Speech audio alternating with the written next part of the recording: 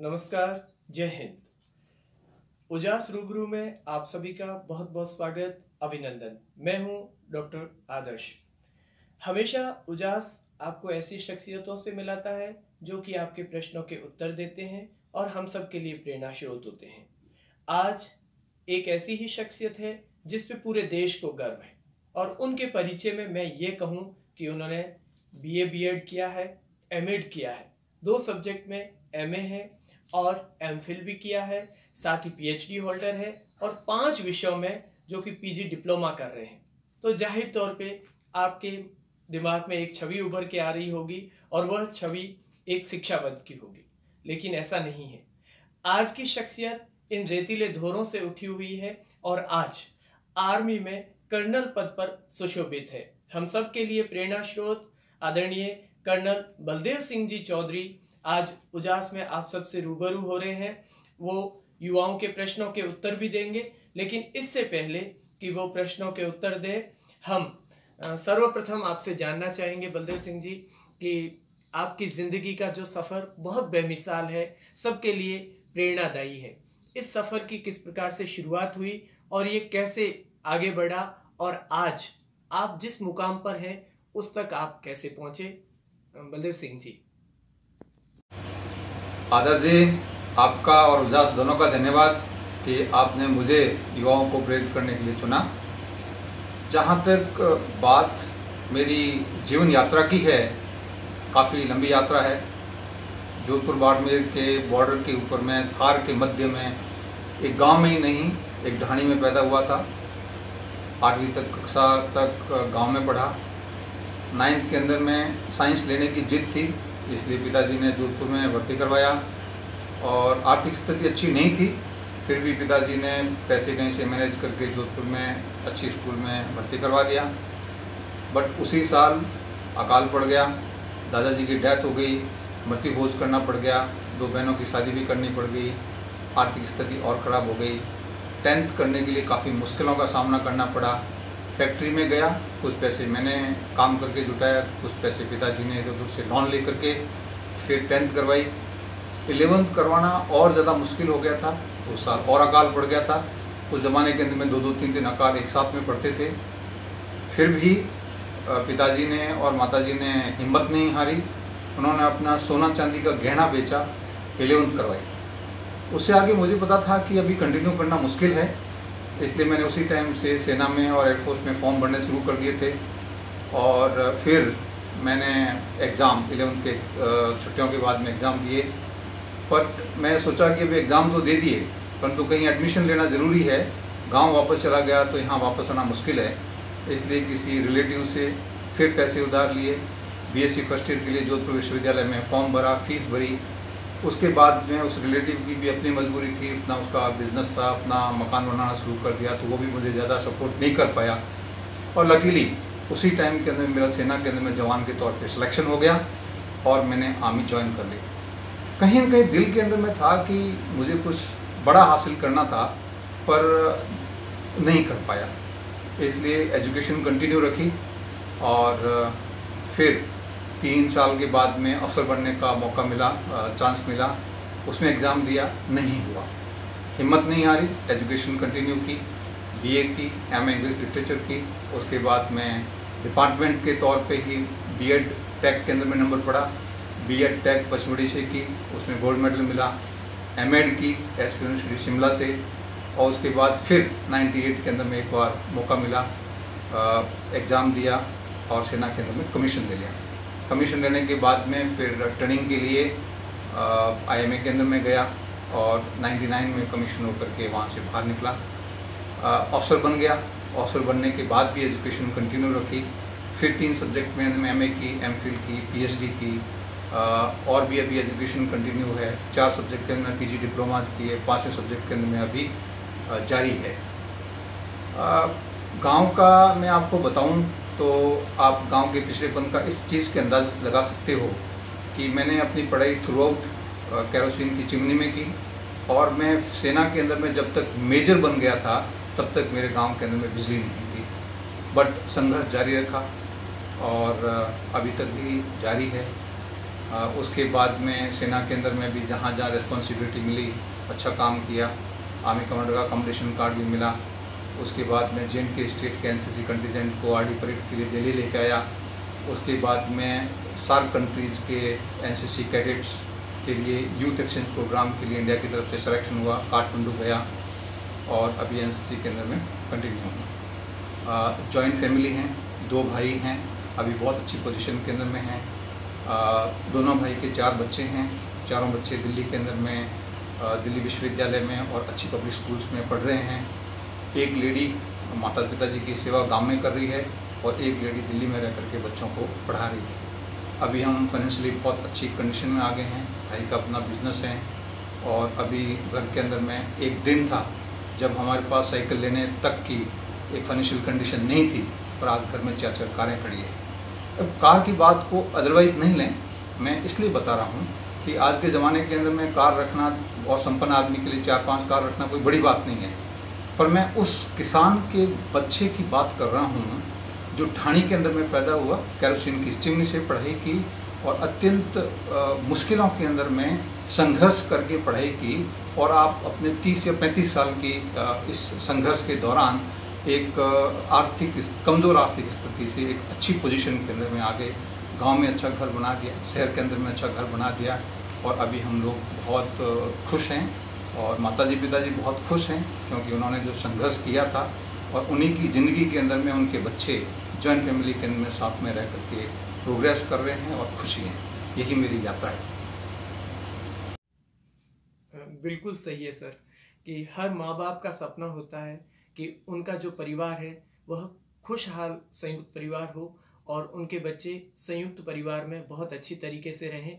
आप बहुत भाग्यशाली हैं और हम सब बहुत भाग्यशाली हैं कि एक ऐसे व्यक्तित्व से रूबरू हो रहे हैं जो कि इस थार की भूमिका बहुत होनहार लाल है और अकालों से जूझते संघर्ष के साथ पढ़ते पढ़ते आज भारतीय सेना का गौरवशाली ऑफिसर है। सर, हमारे जो विद्यार्थी हैं वो आपसे रूबरू होंगे अपने प्रश्नों के माध्यम से ऑनलाइन माध्यम से। तो वो इसलिए भी हमारे लिए महत्वपूर्ण है कि आपकी कहानी का जो प्रारंभिक आधा हिस्सा है, वो बहुत सारे युवाओं का हिस्सा है। लेकिन उस कहानी का जो एंडिंग पार्ट है, जो आपने बहुत अपनी मेहनत के साथ गौरवशाली बना लिया है, वो ये लोग भी बना पाए। तो अब मैं बीच में से हट जाता हूँ और सीधे आपसे विद्यार्थी रूबरू होंगे। और सबसे पहले हमारे सार्जेंट देवेंद्र अपना प्रश्न लेके आपके सम्मुख हो रहे हैं। देवेंद्र। जयंत सर मैं सार्जेंट देवेंद्र कुमार। मैं एनसीसी थर्ड ईयर का कैडेट हूँ। मैंने पिछले साल थल कैंप भी किया है। सर, मैं आर्मी ऑफिसर बनना चाहता हूँ। उसके लिए एनसीसी स्पेशल एंट्री या सीडीएस इनमें से बेहतर क्या रहेगा? जय हिंद। जय हिंद, सार्जेंट देवेंद्र। जहाँ तक बात एनसीसी स्पेशल एंट्री की और आईएमए की है, मैं समझता हूँ कि एक व्यक्ति खुद अपना सबसे बेस्ट जज होता है। आपको डिसाइड करना है। आपको पता है कि आईएमए के अंदर में 32 वैकेंसीज पर बैच होती है और 64 वैकेंसीज पर ईयर होती है। टोटल वैकेंसीज 1000 होती पर ईयर उसमें से 64 वैकेंसीज एन स्पेशल एंट्री की होती है। ओटीए के अंदर में 100 वैकेंसीज होती है मेल के लिए और 10 वैकेंसीज होती है फीमेल के लिए। आ, आपका यदि रिटर्न बहुत स्ट्रॉन्ग है तो सर्टेनली आपको आईएमए की जनरल एंट्री के लिए जाना चाहिए। परंतु आपको यदि आपने रिटर्न पे भरोसा नहीं है तो आपको एनसीसी स्पेशल एंट्री में फॉर्म भरना चाहिए, ताकि आप एसएसबी तक तो ज़रूर पहुंचोगे। आपको डिसाइड करना है कि इसमें से आपके लिए कौन सा बेटर रहेगा। जय हिंद सर। मैं senior under officer Sugna Chaudhary. मैंने इसी वर्ष एनसीसी के सी सर्टिफिकेट का एग्ज़ाम दिया है। मैंने एनआईसी ईबीएसपी e जैसे नेशनल कैंप्स किए हैं। सर एनसीसी में गर्ल्स कम ही ज्वाइन करती है और जो ज्वाइन करती है, उन्हें काफ़ी समय देना पड़ता है। तब सवाल ये उठता है कि आखिर ऐसा क्या है एनसीसी में जो एक स्टूडेंट्स उसे ज्वाइन करे और उसे अपना समय दे? कैसे एनसीसी उसके उस टाइम से भी ज़्यादा इम्पोर्टेंट है। जय हिंद सुगना सुगना, आपका नाम सुन करके बहुत खुशी हो रही है मेरे को। मेरी छोटी बहन का नाम भी सुगना है। जहाँ तक सवाल आपने किया है कि एनसीसी में इतना समय देना पड़ता है और एनसीसी किस प्रकार हमारे इस उपयोगी हो सकती है तो मैं आपको बताना चाहूँगा कि आज के ज़माने के अंदर में डिग्रीज़ या परसेंटेज जो डिग्रीज़ के अंदर में लेते हैं, उसकी कोई बहुत बड़ी वैल्यू नहीं है। आज के ज़माने के अंदर में जहाँ भी आप जॉब में जाओगे तो आपके अंदर में डिमॉन्स्ट्रेबल स्किल्स क्या है, उसकी बहुत बड़ी वैल्यू है। किसी भी फ़ील्ड के अंदर में जाओगे डिमॉन्स्ट्रेबल स्किल्स होनी चाहिए अंदर में, तभी आपको उसके लिए फिट माना जाएगा। एनसीसी एक नॉर्मल बच्चे को एक ऐसा कैडेट बना देती है कैडेट ऑफ़ स्टील नर्व मैं कहना चाहूँगा, बना देती है। आपके अंदर में लीडरशिप आपके अंदर में डिसीज़न मेकिंग आपके अंदर में never never giving up attitude लोगों के साथ में डिफरेंट कास्ट कल्चर और रिलीजन के लोगों के साथ में काम करने का, तालमेल बिठाने का तरीका डिफरेंट लोग डिफरेंट जगह पे रहने का तरीका इंडिपेंडेंट रहने का तरीका, सबके साथ में मिल करके काम करने का तरीका, ये जो स्किल्स एनसीसी आपको देती है लाइफ के अंदर में बहुत ज़्यादा कामयाब होती हैं और एनसीसी के बच्चे इसी वजह से सब जगह पे ज़्यादा मांग में रहते हैं डिमांड में रहते हैं। मैं आपको एक एग्ज़ाम्पल देना चाहूँगा। दो हज़ार सोलह दिसंबर के अंदर में, मैं एनसीसी के जे के स्टेट का कंडीजेंट लेकर के दिल्ली आ रहा था आरडी कैंप 2017 के लिए। तो उस कंडीजेंट को पहले गवर्नर से मिलना होता है तो मैं गवर्नर से मिलने के लिए गया। तो वहाँ पे उनके प्राइवेट सेक्रेटरी थे, जो कश्मीर एडमिनिस्ट्रेटिव सर्विसेज़ के ऑफिसर थे। जैसे अपने यहाँ राजस्थान में आरएस होता, वो के थे। तो जैसे ही मैं गया वहाँ पे और मैंने कहा कि गवर्नर साहब से मिलना है, मैं एनसीसी आया हूँ। तो एकदम वो खड़े हुए कुर्सी से और उन्होंने मेरे को सैल्यूट किया और कहा, सर, मैं एनसीसी से बहुत प्रभावित हूँ। आपने एनसीसी का नाम लेकर के और मेरे जो है ना, एक दिल के अंदर में एक, मेरी एक मेमोरी ताज़ा कर दी।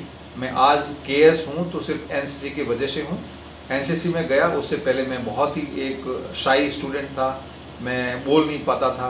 एनसीसी ने हमने ऐसा स्टेज प्रोवाइड किया कि मैं एक कॉन्फिडेंट आदमी बन गया, मेरे अंदर में एक एक जज्बा आ गया, मेरे अंदर के अंदर में एक विश्वास पैदा हो गया कि मैं कुछ कर सकता हूँ लाइफ के अंदर में और मेहनत की और मैं के बन गया। ये सब एनसीसी की देन है।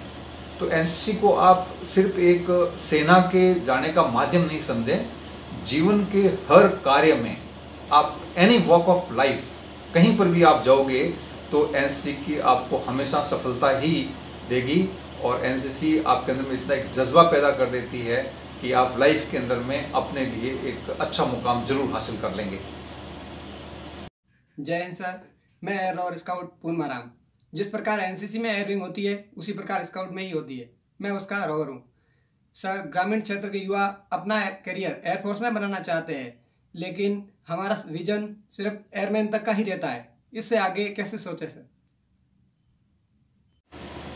जय हिंद पूनवाराम गाँव और शहर से कोई फ़र्क नहीं पड़ता है। बात सिर्फ़ सोच की है। यदि आप एयरमैन बनने की सोचते हो तो एयरमैन बनोगे।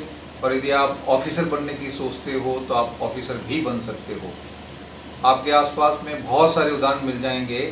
जो बिल्कुल कहीं टीचर थे, कहीं पे पटवारी थे, पर आज वो आईएएस आईपीएस हैं, बड़े पद पे हैं।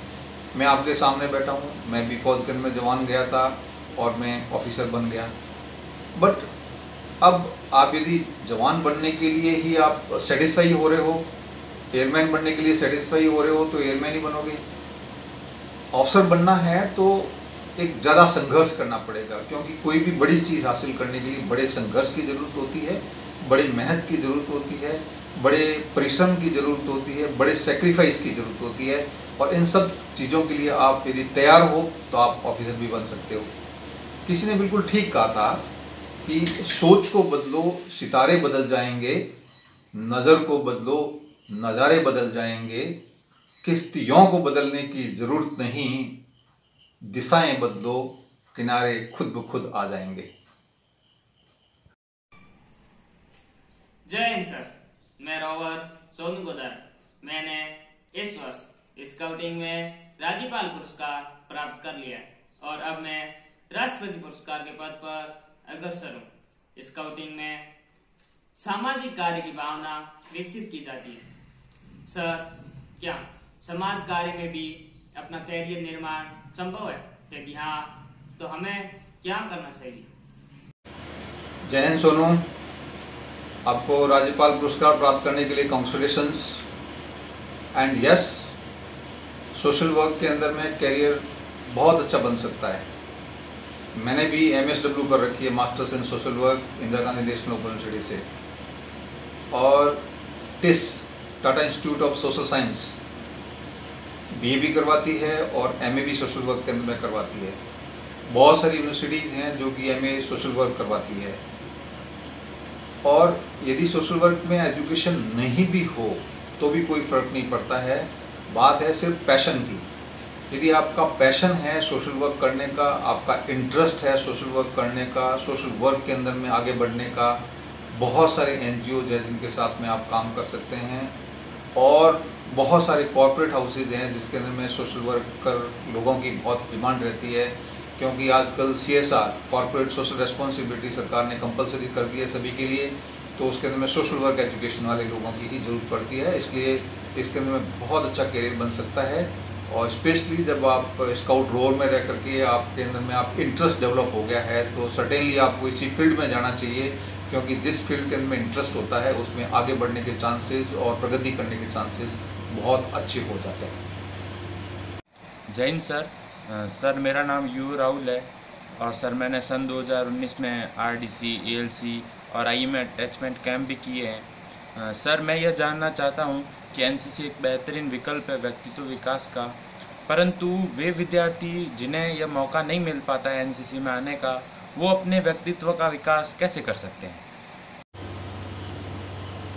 जय हिंद राहुल। यस, आपने ठीक कहा।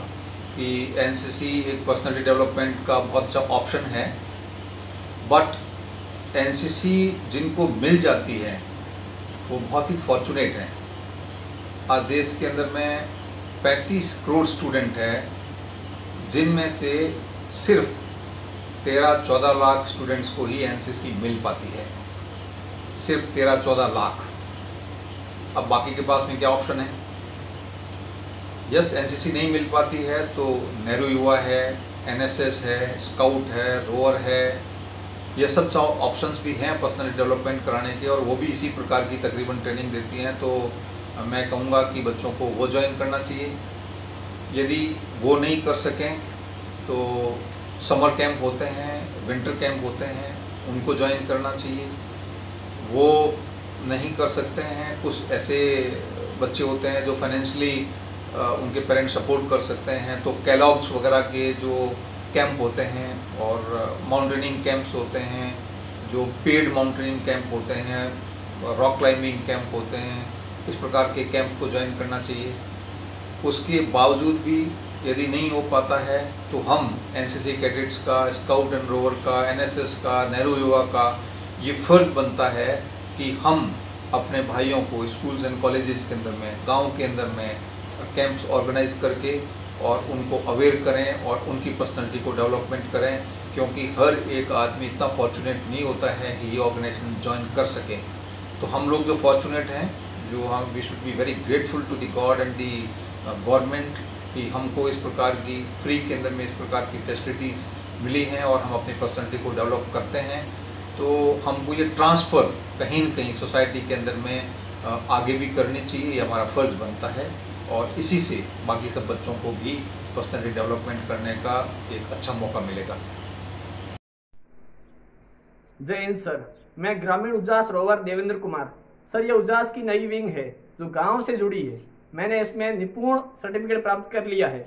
इस वर्ष मैं राज्यपाल पुरस्कार की तैयारी कर रहा हूँ। सर हम अपने गाँव के विकास में किस तरह योगदान दें? जय हिंद देवेंद्र। आपको उजास का निपुणता सर्टिफिकेट हासिल करने के लिए कॉन्ग्रेचुलेशन एंड आप जो राज्यपाल पुरस्कार की तैयारी कर रहे हैं, उसके लिए गुड विशेष जहाँ तक गाँव में विकास के लिए भागीदारी की बात है या आपके योगदान की बात है, आप जैसे पढ़े लिखे युवा, शिक्षित युवा गाँव के विकास के अंदर में बहुत बड़ी भूमिका निभा सकते हैं। गाँव के लोग इतने जागरूक नहीं होते हैं और गाँव के लोगों के कोई आवाज़ नहीं होती है। तो एक शिक्षित युवा होने के नाते आप गाँव के लोगों की आवाज़ बन सकते हैं और सरकारी कार्यालयों और गाँव के बीच में एक बहुत बड़ी कड़ी का काम कर सकते हो। सरकार की बहुत सारी योजनाएँ होती है, परंतु गाँव के लोगों की अज्ञानता की वजह से योजनाएँ वो कार्यान्वित नहीं हो पाती है। तो ये गाँव के लोगों को जागरूक कीजिए और योजनाओं को गाँव तक लाइए। दूसरा कृषि विकास की बहुत सारी योजनाएँ होती हैं जो गाँव के लोग उनको उपयोग में नहीं ले सकते हैं, लोगों को अवेयर कर सकते हैं और लोगों को उनको क्रियान्वित करने में आप मदद कर सकते हैं। तीसरा, बहुत सारे एन होते हैं जो गाँव में विकास करना चाहते हैं, परंतु उनको गाँव में प्रॉपर सपोर्ट नहीं मिलता है। तो आप उनके बीच में कड़ी बन करके उन एन को गाँव में ला करके, गाँव की समस्याओं के बारे में उनको अवगत करवा करके और आप एन के थ्रू भी विकास करवा सकते हैं। चौथा ये है कि हर गाँव के अंदर में दो चार लोग ऐसे होते हैं जो संपन्न होते हैं और शहरों में जाकर के बस जाते हैं। या तो वो उद्योगपति होते हैं। कुछ गाँव के अंदर में एन भी हैं, जो नॉन रेजिडेंशियल इंडियंस कहते हैं उनको फॉरन के अंदर में हैं। तो इस प्रकार के लोगों को गाँव के अंदर में ला करके, बुला करके और उनको इनवाइट करके, उनको सम्मानित किया जा सकता है और गाँव के प्रति उनका अटैचमेंट बढ़ाया जा सकता है। जब वो गाँव के प्रति एक अपनत्व की फीलिंग उनके अंदर में आएगी तो वो गाँव के अंदर में ज़रूर डेवलपमेंट के लिए इन्वेस्ट भी कर सकते हैं और गाँव के दूसरे लोगों को भी जो आसपास के हैं, उनको रोज़गार भी उपलब्ध करवा सकते हैं क्योंकि वो संपन्न हैं। उसके साथ साथ के अंदर में आपके बाड़मेर के अंदर में रुमा देवी जी बहुत अच्छा काम कर रही हैं तो उसके ऑर्गेनाइजेशन के साथ में आप मिल करके गाँव का विकास करा सकते हैं। उजास बहुत अच्छा काम कर सकता है तो गाँव के पढ़े लिखे लोगों को उजास के साथ में आप संपर्क करवा सकते हैं, उनको रोज़गार के लिए तैयार करवा सकते हैं ट्रेन कर सकते हैं, सेना के अंदर में भर्ती के लिए उनको ट्रेन करवा सकते हैं। उसके साथ आपकी 50 विलेजेस बाड़मेर के अंदर में बहुत अच्छा काम कर रही है, उनके अंदर में गाँव के कुछ लोगों को जो बच्चे होनहार हैं, परंतु साधन संपन्न नहीं हैं, उनको 50 विलेजेस के अंदर में उनको एजुकेट करवा करके उनको डॉक्टर बनाया जा सकता है, या डॉक्टर नहीं भी बने तो वो 50 विलेजेस में एक बार आएँगे। तो उनको कहीं न कहीं कॉम्पिटिटिव की कंपटीशन की भावना आ जाएगी और किसी न किसी दूसरे कंपटीशन में निकल जाएँगे। तो आपको ये समझना है कि किसी पर्टिकुलर विलेज की या आसपास के एरिया की रिक्वायरमेंट क्या है, क्या चीज़ की कमी है, उस कमी को समझना है और आपका उसके अंदर में आप कितने सक्षम हैं उस काम को करने के लिए, आपका क्या इंटरेस्ट है, क्या पैशन है, उसके मुताबिक आप गाँव के अंदर में बहुत बड़ी एक भूमिका निभा सकते हैं। नेक्स्ट है कि हमारे वेस्टर्न राजस्थान के अंदर में लेडीज़ के अंदर में एनीमिया यानी कि खून की कमी की बहुत प्रॉब्लम होती है, जिससे जच्चा और बच्चा लेडी और उसका नया होने वाला बच्चा, उन दोनों की डेथ हो जाती है। तो आप उनको एक हेल्थ के बारे में अवेयरनेस प्रोग्राम चला सकते हैं डॉक्टरों के साथ में, सरकार इसके अंदर में बहुत मदद करती है। आर एन टेबलेट्स को आप डिस्ट्रीब्यूट करवा सकते हैं। और उसके बाद में नेक्स्ट आता है, गाँव में शिक्षा की बहुत कमी है। तो आप शिक्षा के बारे में लोगों को अवेयर कर सकते हैं और एन को उसमें आप शामिल कर सकते हैं। आप भी गाँव के लोगों का, गाँव के यूथ का एक ऑर्गेनाइजेशन बना सकते हैं यूथ क्लब बना सकते हैं और ये सब मिलकर के गाँव गाँव के अंदर में जो भी शिक्षा की व्यवस्था है उसको आप सुदृढ़ बना सकते हैं। थर्टी टू के अंदर में एक साहेब सिंह जी महाराज हुए हैं और उन्होंने दयालबाग इंस्टीट्यूट ऑफ़ एजुकेशन की नींव रखवाई थी। दयालबाग आगरा के पास में है। उन्होंने एक ऐसी चीज़ कही थी जो आज भी हमारे गाँवों के लिए बिल्कुल लागू होती है। उन्होंने कहा था कि education more education and education made perfect is the panacea for all the ills and evils our country facing today panacea एक वर्ड है, उसका मतलब है कि एक ऐसी दवाई जो सब बीमारियों के अंदर में काम आती है। तो एक शिक्षा रूपी दवाई, यानी कि एक शिक्षा रूपी इंजेक्शन गाँव के हर व्यक्ति के अंदर में आप लगा दो तो गाँव की बहुत सारी समस्याएँ खत्म हो सकती है। बाल विवाह खत्म हो सकता है, दूसरा रूढ़िवाद खत्म हो सकता है, मृत्यु खत्म हो सकता है और बहुत सारे अंधविश्वास एंड सुपस्टिशंस हैं, वो सब खत्म हो सकते हैं। तो शिक्षा के अंदर में आप जैसे शिक्षित युवक, ऊर्जावान युवक बहुत बड़ी भूमिका निभा करके और सारे दूसरे प्रोग्राम्स और शिक्षा को मिल करके आपके ग्रामीण विकास के अंदर में आप बहुत बड़ी भूमिका निभा सकते हैं। नमस्ते सर। मैं प्रकाश भादू। मैं उजास एजुकेशन विंग का विद्यार्थी हूँ। इसमें इवनिंग कक्षाएँ आयोजित की जाती है, जिसमें आर एस और विभिन्न प्रतियोगी परीक्षाओं की तैयारी करवाई जाती है। आज हमारे कई सहपाठी, आर्मी, पुलिस, ग्राम सेवक और पटवारी जैसी सेवाओं में सेवारत है। लेकिन सर, मेरा प्रश्न ये है कि जो ग्रामीण परिवेश में शिक्षा का माध्यम है, वो हिंदी माध्यम है। और अनेक प्रतियोगी परीक्षाओं में अंग्रेज़ी की आवश्यकता होती है। तो ग्रामीण परिवेश में गुणवत्ता परक अंग्रेज़ी शिक्षा को बढ़ाने के लिए क्या प्रयास किए जा सकते हैं? जयंत प्रकाश। प्रकाश, जहाँ तक गाँव की बात है या लैंग्वेज की वजह से पिछड़ जाने की बात है, उसमें मैं आपके साथ सहमत नहीं हूँ, क्योंकि आपके आसपास के अंदर में खड़ीन गाँव हैं इधर जैसलमेर में भनियाना है, जोधपुर के अंदर में रतकुड़िया है, और आप बाड़मेर के अंदर में बहुत सारे जो संगाराम जी साहब हैं, जो तमिलनाडु पुलिस से डीजी से रिटायर हुए हैं, बहुत सारे आपके आईएएस आईपीएस है आर्मी ऑफिसर्स हैं, वो सभी ग्रामीण परिवेश से निकले हैं और सभी हिंदी मीडियम से ही निकले हैं। बात हिंदी या इंग्लिश मीडियम की नहीं है। बात यह है कि गाँव के बच्चों की शिक्षा की नींव कमज़ोर रह जाती है, क्योंकि ना तो गाँव के अंदर में पढ़ने का अच्छा माहौल हो पाता है, ना टाइम से टीचर्स पहुँच पाते हैं, ना माता पिता के अंदर में अवेयरनेस होती है, ना सोसाइटी के अंदर में ज़्यादा अवेयरनेस होती है, ना बच्चों को कोई गाइड करने वाला होता है, ना उनको कोई काउंसलिंग देने वाला होता है। तो इस वजह से हमारी नींव गाँव के बच्चों की कमज़ोर रह जाती है, ये भाषा नहीं है। ये उनकी शिक्षा की नींव कमज़ोर रहने की वजह से हम पिछड़ जाते हैं। गाँव का बच्चा इंग्लिश मीडियम भी लेगा तो भी उसकी अंग्रेज़ी के अंदर में नींव कमज़ोरी रहेगी, क्योंकि ये जो मूलभूत सुविधाएँ या मूलभूत ढांचा जो शिक्षा के लिए होना चाहिए, वो गाँव में उपलब्ध नहीं है। मैं तो ये कहूँगा कि गाँव के बच्चे को कभी इंग्लिश मीडियम आठवीं तक लेनी ही नहीं चाहिए, क्योंकि एनवायरनमेंट नहीं होता है। जब तक एनवायरनमेंट इंग्लिश का नहीं होता है, बच्चा अपनी कंसेप्ट को क्लियर नहीं कर पाएगा। हिंदी में कम से कम उसका सोच विचार तो क्लियर होगा। गाँव में जो टीचर आएँगे, वो ठीक से उसको पढ़ा तो पाएँगे। तो ये भाषा का कोई फ़र्क नहीं पड़ता है। हमारी एक आधार, मूलभूत आधार ढांचा है, वो थोड़ा कमज़ोर है। फिर भी यदि आप अंग्रेज़ी इम्प्रूवमेंट करना चाहता है मोस्ट वेलकम अच्छी बात है, क्योंकि अंग्रेज़ी इम्प्रूवमेंट करना भी बहुत अच्छी बात है। अंग्रेज़ी एक इंटरनेशनल लैंग्वेज है, उसके बिना फॉरेन के अंदर में या हायर एजुकेशन के अंदर में इंग्लिश के बिना काफ़ी मुश्किल होता है। तो इसको इम्प्रूव करने के लिए कुछ सजेशंस हैं कि एक तो यूथ का एक विंग बनाया जाए। हर गाँव के अंदर में जो युवा अंग्रेज़ी सीखना चाहते हैं, उनका ग्रुप बना करके वो आपस के अंदर में पढ़ाई करें। गाँव के अंदर में अंग्रेज़ी की लाइब्रेरीज बनाई जा सकती है, या जो लाइब्रेरी बनाते हैं, उसके अंदर में इंग्लिश का रूम बनाया जा सकता है। कहीं पे लोग साधन संपन्न है तो दो चार गाँवों के बीच में एक इंग्लिश की लेबोरेटरीज बनाई जा सकती है। इंग्लिश लैंग्वेज लैब कहते हैं उसको। वो बनाई जा सकती है। और उसके इंग्लिश रूम के अंदर में उसको स्पोकन इंग्लिश की तैयारी के लिए उसमें मिरर्स वगैरह लगाए जा सकते हैं। बच्चों को गाइड करने के लिए किसी टीचर्स को, शहर के टीचर्स को एक वॉल्टियर होकर के काम करना चाहिए और एक प्रैक्टिस करते रहना चाहिए।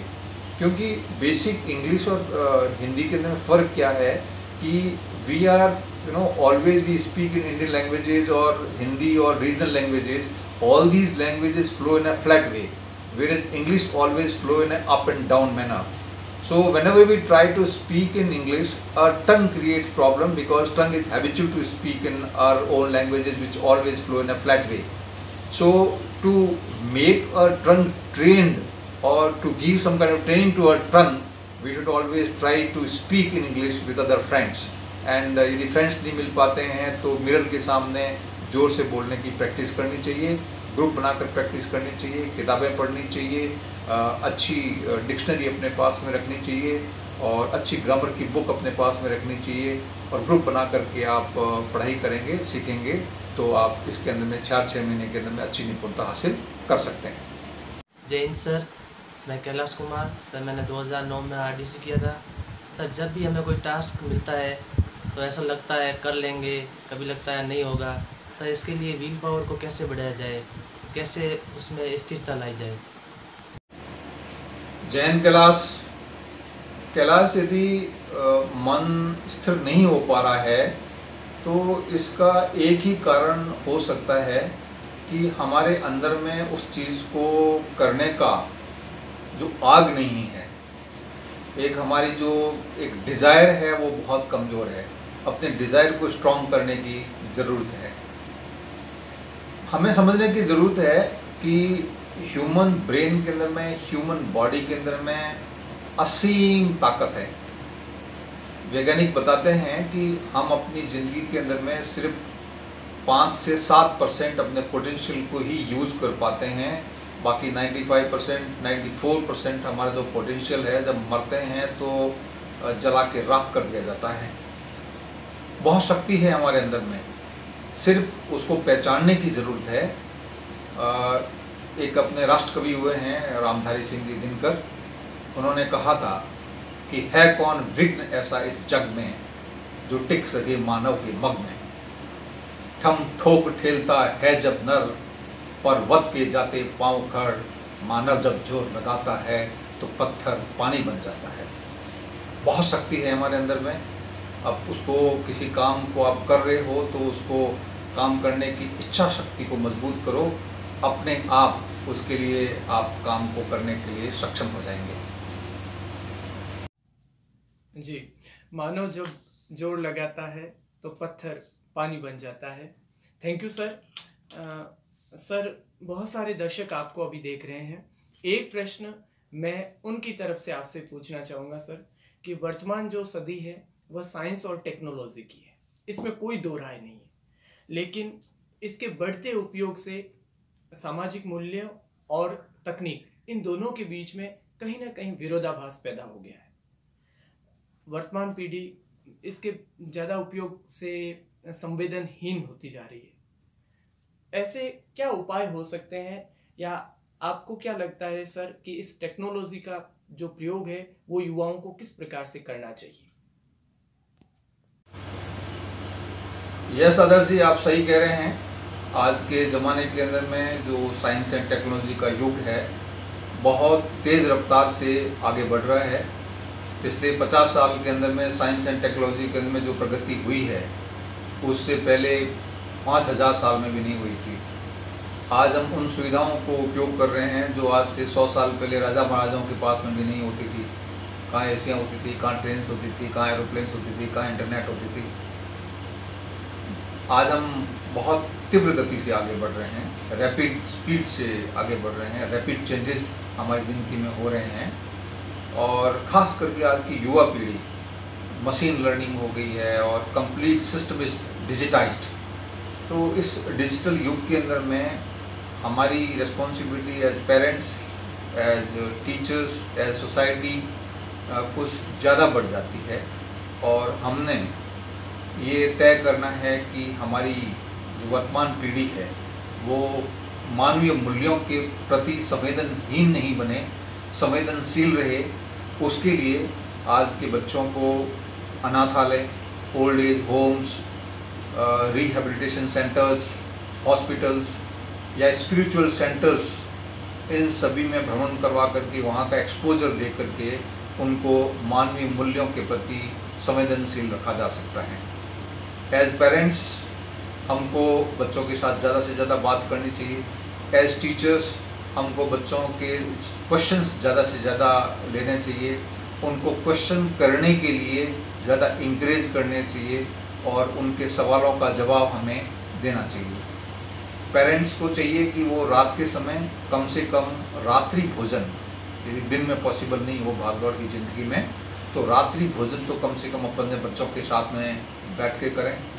उनके हालचाल पूछें और उनके दिन की एक्टिविटीज़ के बारे में पूछें। उनके साथ में दोस्ताना व्यवहार रख करके उनको इस प्रकार की जो मैकेनाइज्ड थॉट प्रोसेस है उससे दूर रख करके मानवीय मूल्यों के प्रति संवेदनशील रखा जा सकता है।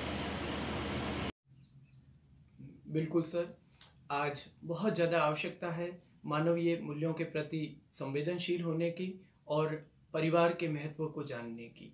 आप जब भी बाड़मेर पधारें, हमेशा स्वागत रहेगा।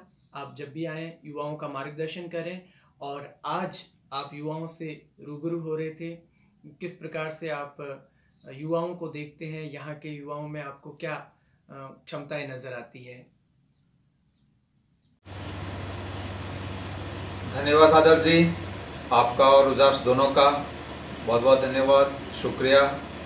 मैं आपका आभारी हूँ कि आपने उजास के और बाकी युवाओं से रूबरू होने का मुझे मौका दिया। यूथ से बात करना वैसे भी मेरा पैशन है और मैं समझता हूँ कि यूथ हमारे देश का फ्यूचर है। क्वालिटेटिव यूथ होगा तो समाज की क्वालिटी अपने आप ही अच्छी हो जाएगी। किसी देश की क्वालिटी देश के लोगों के ऊपर डिपेंड करती है और उसके अंदर में यूथ की बहुत बड़ी भूमिका होती है। आज युवाओं से बातचीत करके बहुत अच्छा लगा और जब भी मैं कभी बाढ़ में रहूँगा नेक्स्ट टाइम मैं तो उजास के युवाओं से, वहाँ व्यक्तिगत रूप से रूबरू होने का कोशिश करूँगा और ये मेरा सौभाग्य होगा कि मैं आपसे मिल करके युवाओं से व्यक्तिगत रूप से हो सकूँ। धन्यवाद। थैंक यू सर आपने बहुत ही संजीदगी के साथ युवाओं का और समस्त विद्यार्थियों का मार्गदर्शन किया। ये हम सब के लिए बहुत उपयोगी होगा और एजुकेशन वास्तव में एक चिंगारी होती है। धन्यवाद सर थैंक यू सर आदर जी वंस अगेन आपका और उजास दोनों का धन्यवाद कि आपने मेरे को एक बाड़मेर के एनर्जेटिक एंड मोटिवेटेड यूथ से रूबरू होने का मौका दिया। मैं इसके लिए आपका और उजास दोनों का आभारी हूँ। उजास एक बहुत अच्छा काम कर रही है, जो शिक्षा के ज़रिए लोगों को रोज़गार दिलाने की कोशिश कर रही है। और किसी प्रकार का पैसा चार्ज नहीं करती है, एक बहुत ही पायस और पवित्र वर्क है। कहते हैं कि अन्नदान परम दान विद्यादान तत्परम अणेन क्षणिका तृप्ति, विद्या सह याची वह यानी कि विद्या के माध्यम से आप लोगों के ज़िंदगी भर का पेट पूजा का कार्य कर रहे हो, ये बहुत ही अच्छा और पवित्र काम है। डॉक्टर भीमराव अंबेडकर ने कहा था कि शिक्षा एक शेरणी का दूध है, जो पिएगा वही शेर बन जाएगा। आप, यहाँ के जवानों को और यूथ को शेर बनाने का काम कर रहे हो, एक, लोगों को आवाज़ देने का एक काम कर रहे हो, लोगों को एक एक अच्छे अपने नियति के साथ में उनको सही रास्ते पे चलने का और उनकी सेल्फ स्टीम उनकी आप अच्छी कर रहे हो और आगे बढ़ा रहे हो एक बहुत अच्छा काम है। मैं समझता हूँ कि बाड़मेर के अंदर में Ujas, fifty villagers and Rooma Devi ji, ये तीनों कहीं न कहीं रामदान जी डोकिया खड़ीन मदन कौर जी एंड खरताराम जी भनियाना गुलाराम जी रतकोड़िया और बलदेव राम जी मिर्धा, उन्होंने जो हमको एक एक रास्ता दिखाया था उस रास्ते के ऊपर में आप समाज को आगे बढ़ाने का काम कर रहे हो और मुझे पूर्ण विश्वास है, मुझे ऐसा लगता है कि आप सब मिल कर के बाड़मेर के अंदर में, शिक्षा और रोज़गार के अंदर में एक बहुत बड़ी क्रांति लाने वाले हैं। मुझे आप लोगों के ऊपर में बहुत गर्व है। धन्यवाद। एंड हमारे से जब भी आपको किसी प्रकार के सहयोग की ज़रूरत पड़ती है, हम हमेशा तैयार हैं। वंस अगेन बहुत बहुत धन्यवाद आपका। थैंक यू जय हिंद जय भारत तो आज उजास रूबरू में हम सब के बीच में थे बेमिसाल व्यक्तित्व के धनी कर्नल बलदेव सिंह जी चौधरी, जिन्होंने कि युवाओं के प्रश्नों के उत्तर दिए। फिर उजास रूबरू में आपसे मिलेंगे किसी और शख्सियत के साथ। तब तक के लिए धन्यवाद, नमस्कार, जय हिंद।